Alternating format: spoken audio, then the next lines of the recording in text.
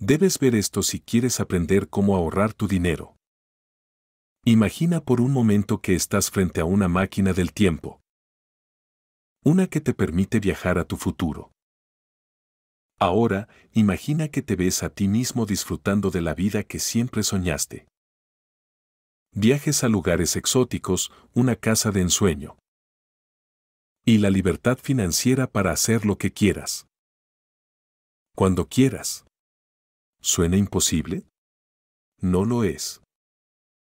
Pero el secreto para llegar a ese futuro empieza hoy. Y comienza con aprender a ahorrar tu dinero de manera inteligente. En este video, te revelaré dos herramientas poco conocidas pero increíblemente poderosas que transformarán la forma en que ves y manejas tus finanzas. Y no solo eso, compartiré contigo un hábito simple, que si lo adoptas, podría duplicar tus ahorros sin que apenas lo notes. ¿Curioso?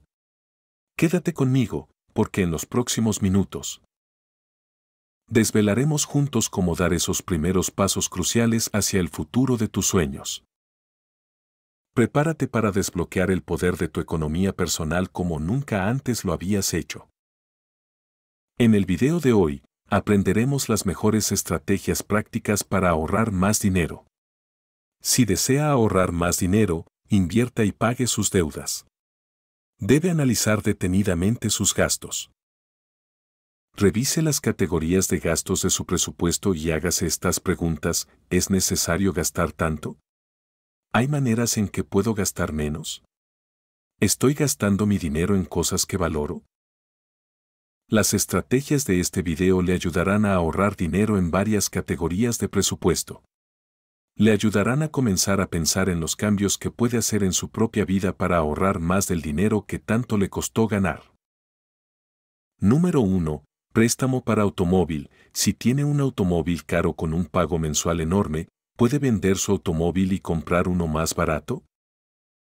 Si alquila un automóvil, puede planear comprar un vehículo más asequible que pueda conducir más tiempo cuando finalice su contrato de arrendamiento?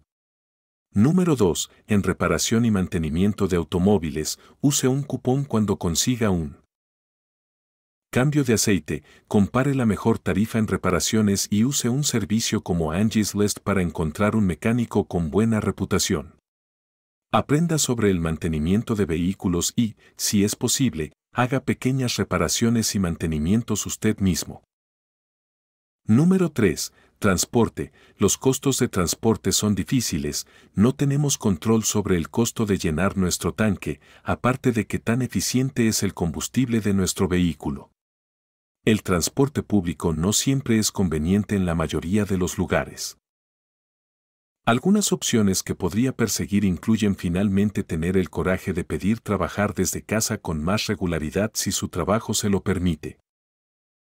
Encontrar a alguien con quien compartir el viaje, reducir la cantidad de viajes en Uber que hace cada mes y eliminar viajes innecesarios. Número 4. Seguro de auto. Busque otra compañía de seguros y vea si pueden ofrecerle una mejor tarifa por la misma cobertura si lo hacen y le gusta su aseguradora actual.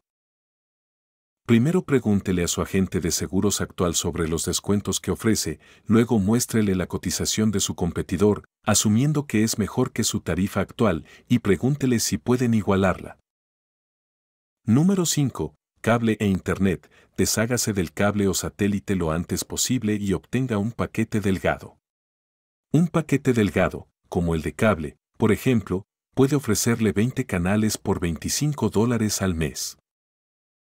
El beneficio de los paquetes delgados es que puede cancelar y reiniciar su suscripción cuando quiera y los costos son mucho más transparentes que los del cable o satélite tradicional. Pregúntese si puede arreglárselas con una antena digital y sin un paquete delgado. Todo lo que puede obtener es una grabadora de video digital sin cargo mensual y vincularla con una antena digital. Si es posible, busque Internet. Si tiene datos ilimitados, vea si puede sobrevivir usando su teléfono celular como punto de acceso Wi-Fi y cancele Internet y cable. Número 6. La ropa. Revise su armario y venda la ropa que no usa. comprométase a esperar 24 horas, 48 horas o algún otro periodo de tiempo predeterminado antes de realizar cualquier compra.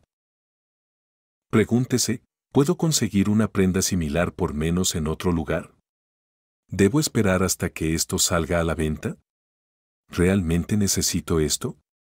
Número 7. Entretenimiento. El entretenimiento es solo una pequeña porción de su gasto total para algunas personas, para otras, aunque esto puede representar una gran parte. Los costos de entretenimiento pueden acumularse rápidamente. Son películas, conciertos o un pasatiempo costoso como el golf o el esquí. No creo que debas privarte por completo de las actividades que disfrutas simplemente porque tienes una deuda de préstamos estudiantiles, pero sí creo que vale la pena hacerte algunas preguntas difíciles. Por ejemplo, ¿realmente disfrutas del golf lo suficiente como para justificar gastar cientos al mes en él? ¿O solo puedes ir al cine una vez cada cuatro semanas en lugar de... ¿Cada semana? ¿Puedes buscar ofertas que puedan reducir tus gastos? Cuestionar tus pasatiempos de alto costo podría ahorrarte mucho dinero a lo largo del tiempo.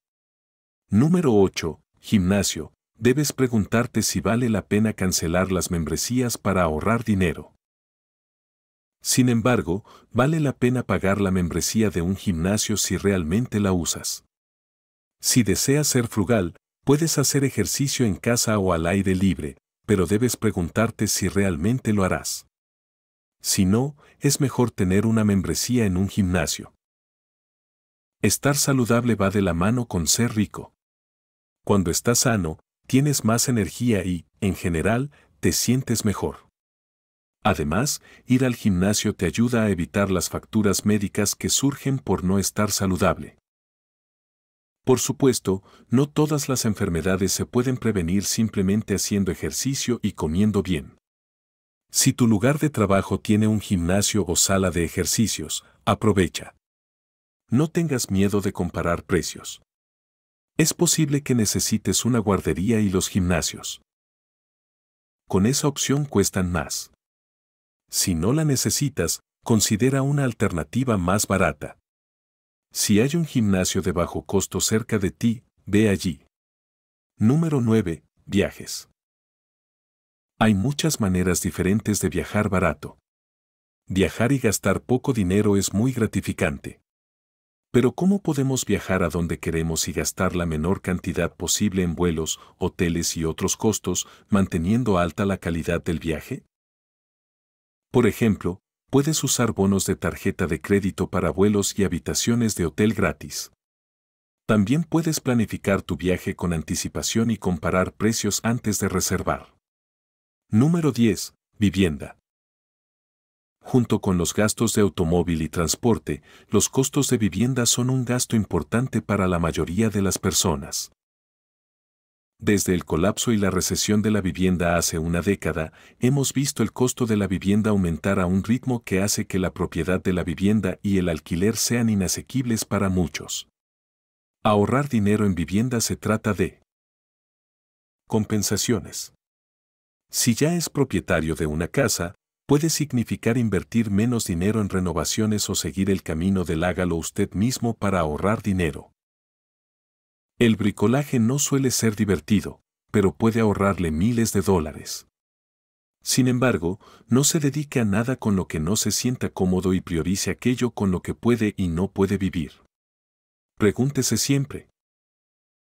¿Cuánto puedo retrasar esto? Recuerde que retrasar proyectos equivale a dinero en el banco. Si alquila, debe considerar qué es lo que le importa. ¿Está dispuesto a viajar más lejos para ahorrar dinero o le importa su ubicación y está dispuesto a intercambiar espacio por ella? ¿Puede soportar tener un compañero de habitación o compañeros de habitación? ¿Cuáles son sus elementos imprescindibles en un alquiler? ¿Qué está dispuesto a ceder? Los precios de alquiler, en gran medida, están fuera de su control en la mayoría de las ciudades, pero ser consciente de lo que le importa puede ayudarle a tomarla mejor. Decisión para usted y sus finanzas. Si aplica las 10 estrategias que ha aprendido en este video, puede estar seguro de que ahorrará mucho más dinero de lo que lo hace actualmente.